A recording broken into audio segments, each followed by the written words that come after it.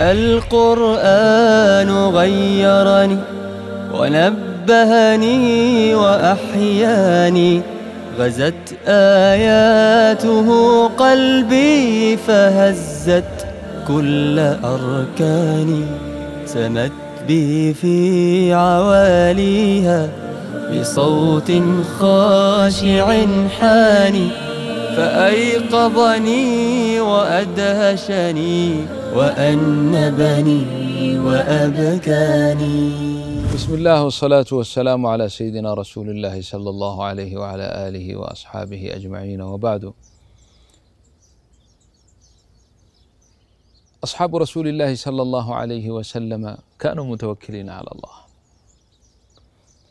ومهما ظهرت الأسباب أمامهم عائقة للوصول إلى هدفهم فإنهم كانوا متوكلين على الله متيقنين بالله.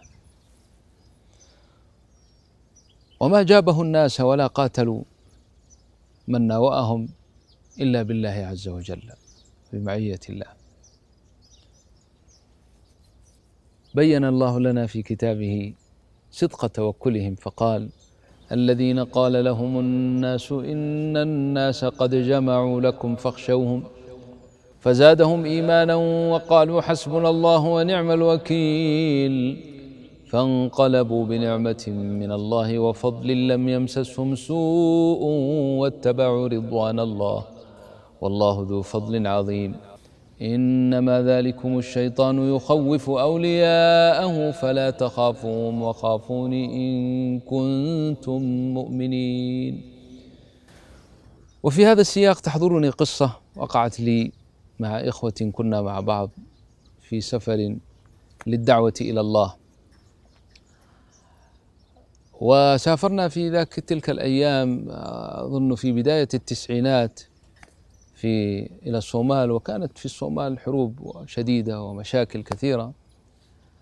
المهم أتينا إلى قرية من القرى وعزمنا السفر إلى قرية أخرى. وكان هناك بعض من لا يحب الدعوة ولا يحب هؤلاء المنتقلين من بلد إلى بلد للدعوة إلى الله. من من يعتبرون من من الفرق الضالة يعني.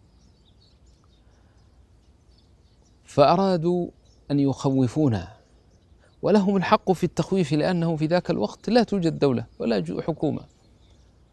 وسقط النظام.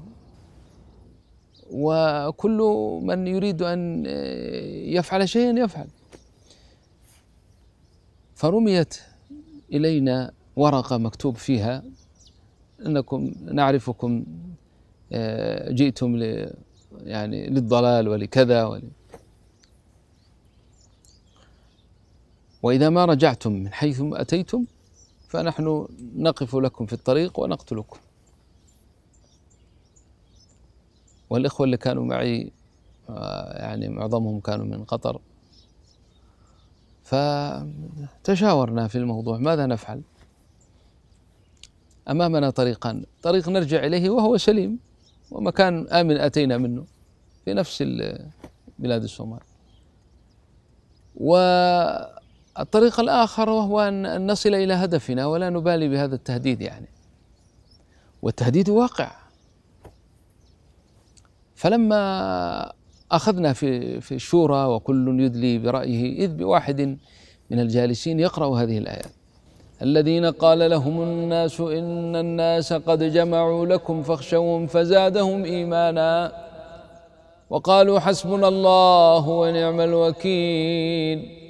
فانقلبوا بنعمة من الله وفضل لم يمسسهم سوء واتبعوا رضوان الله والله ذو فضل عظيم.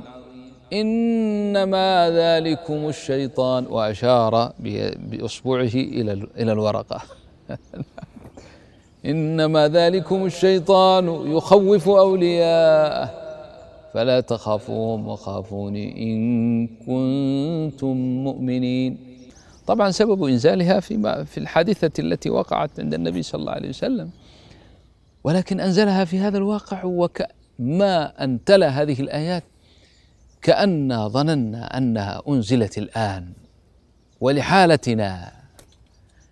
ولأن أيضا في طريق الدعوة إلى الله نحن لا نذهب إلى تلك البلاد من أجل شيء من أشياء الدنيا وإنما نمشي للدعوة إلى الله عز وجل. فعزم الجميع على المضي قدما وعدم الخوف من مخلوق وأن يتوكلوا على الله. وفعلا توكلنا على الله. وركبنا ذلك اللوري الكبير الذي يحمل في فيما يحمل من المعز والبشر وكلها في مكان واحد. وسافر بنا في تلك الفيافي. ورأينا بعض من هؤلاء المسلحين قد ركبوا معنا ولكن الله قد يعني أزاح عن قلوبنا كل خوف. واطمأننا إلى الله. فوقع لنا ما ذكر الله. فانقلبوا بنعمة من الله وفضل. لم يمسسهم سوء. وإن شاء الله يت... واتبعنا رضوان الله. والله ذو فضل عظيم. فهكذا أوصي إخواني إن شاء الله تعالى خاصة في باب الدعوة إلى الله التوكل على الله وعدم الاعتماد على النفس. فالله سبحانه وتعالى يحب المتوكلين خصوصا في الدعوة. الأنبياء ماذا قالوا؟ وما لنا ألا نتوكل على الله وقد هدانا سبلنا ولنصبرن على ما آذيتمونا. وعلى الله فليتوكل المتوكلون. ونوح عليه السلام إني توكلت على الله. هود إني توكلت على الله. فأجمعوا أمركم وشركاءكم ثم لا يكن أمركم عليكم غمة ثم اقضوا إلي ولا تنظرون. يعني يقول اقتلوني. لا لا لا لا, لا تنتظروا ولا ولكن لا تستطيعوا أن تفعلوا شيئا لأن الله معي. الله يوفقنا وإياكم لما يحب ويرضى وجزاكم الله خير. السلام عليكم ورحمة الله وبركاته.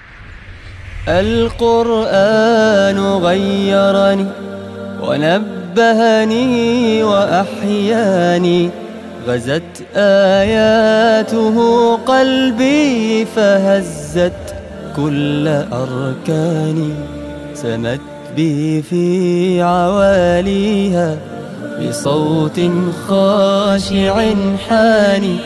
فأيقظني وأدهشني وأنبني وأبكاني.